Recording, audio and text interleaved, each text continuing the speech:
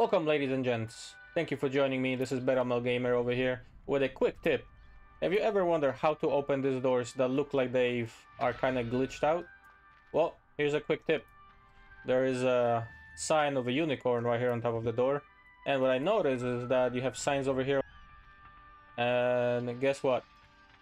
There's a sign of a unicorn right here, right? But how is this connected? What can we do?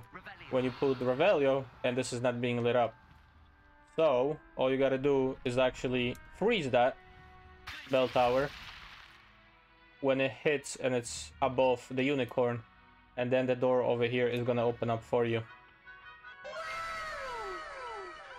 Get your large natural terrain. I guess that's what we're getting for this one. And then if you like to unfreeze this, all you gotta do is use Conf Confringo.